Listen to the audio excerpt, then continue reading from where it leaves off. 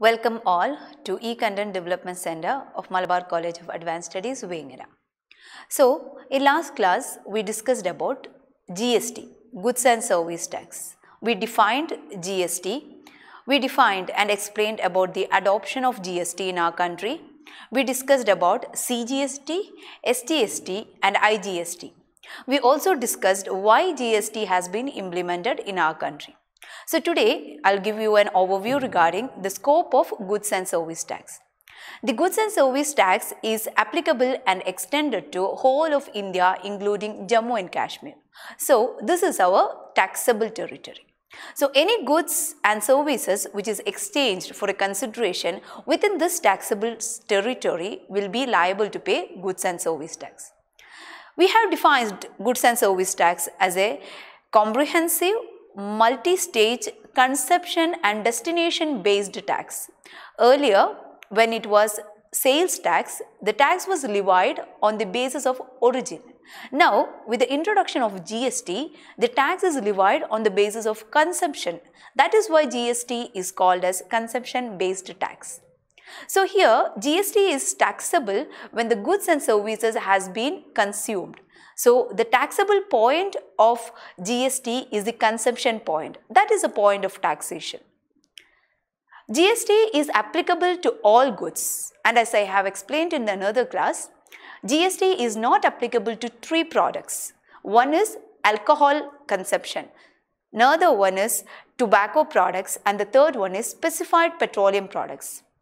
Apart from these three products, every other products are taxable under the scope of GST.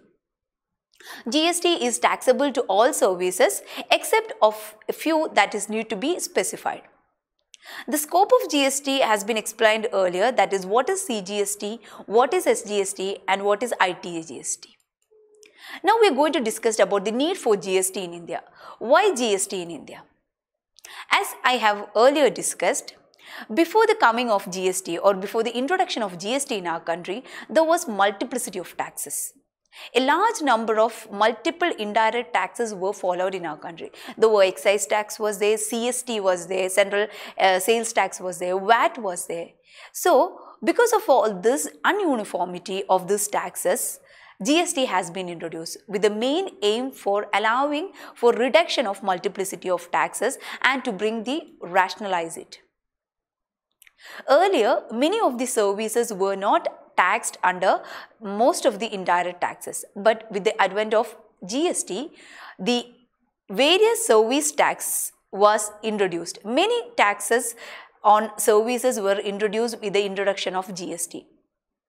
GST has allowed to avoid any distortion that is caused by the complex tax structure.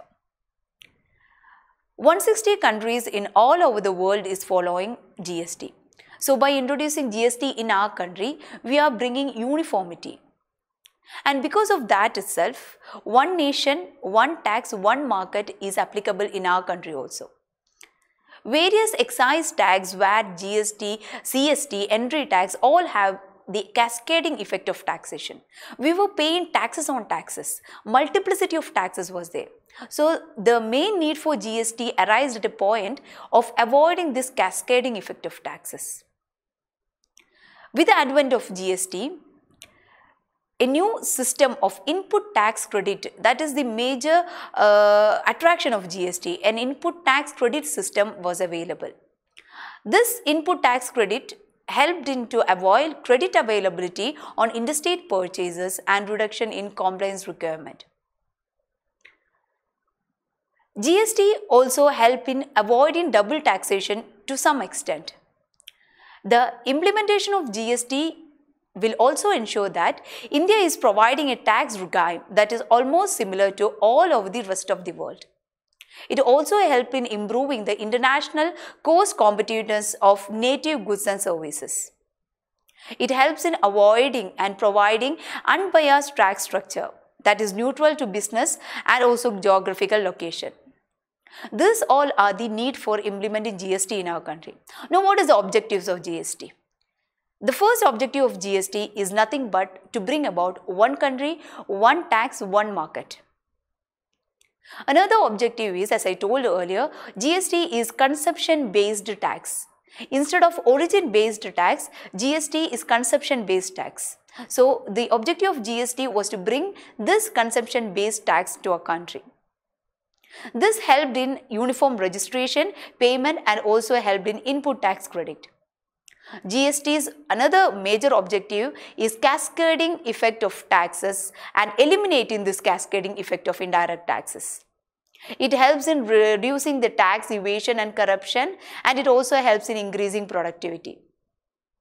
By introduction of GDP, GST in our country, it helps in increasing the GDP ratio and also the revenue surplus. It also increasing the tax regulation compliance and also reduces the economic distortion. By discussing the need, scope and objective of GST, we can simply say what are the advantages of GST. The first advantages is nothing but eliminating taxes on tax effect that is eliminating the cascading effect. By introducing GST, we have also introduced HSN code and SAC code. HSN code is harmonized system of nomenclature and SAC is service accounting code. By introducing these two codes, we have introduced a uniform coding system for our products and services. By introducing GST, the customers are having a major advantage because they need to pay only small prices of the product when we are comparing with the earlier taxes. Earlier, if they were paying uh, an amount of 6500 by introducing GST, with the tax amount, they need to pay only around 6000 So, the advantages to customers are huge. By introducing GST, it helps in easy compliance because the tax structure became easy, the uh, registration of tax became easy and it also helps in reducing the transaction cost and avoiding unnecessary wastages. GST also helped in the eliminating the multiplicity of taxation. It also went on to one point single tax. It also helps in reducing the average tax burden on the consumers and reducing the corruption. GST is beneficial to different stakeholders in different manners. To citizen, GST is beneficial because it is a simpler tax system. It is also helping them to reduce or decrease the price of the product because we are eliminating the cascading effect or GST is eliminating the cascading effect. By introducing GST, we also help to bring about uniform price throughout the country. And it also helped in increasing the employment opportunity. Now, what are the benefits to trade and interest? To trade, the major benefit is it avoided multiplicity of taxes and it helped in eliminating the cascading effect. The mitigation of cascading effect is completely eliminated. And more efficient citizens are paying of tax especially for export. Through GST, we have created a common national market. And a simple tax regime is another attractive factor of GST. Now, to benefits to government. To government, the major benefit is it helped in boosting foreign investment. It also helped to give a support to Make in India campaign. It helped in boosting the export, manufacturing activity and also in increasing the employment opportunity. By through this, it helped in reducing the poverty and also increasing the GDP growth. With the introduction of GST, it helped in improving the overall investment climate in the country development of state. A uniform SGST and CGST is introduced in order to reduce the incentive for tax evasion. It helps in improving the revenue collection of the government and through this government was able to use the resources in a more efficient manner. These are the things we are discussing today in today's class. So next in next classes we will be discussing about the various terms related to GST.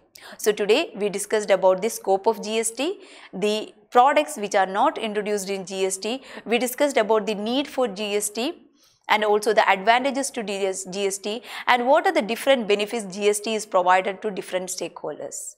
Thank you all.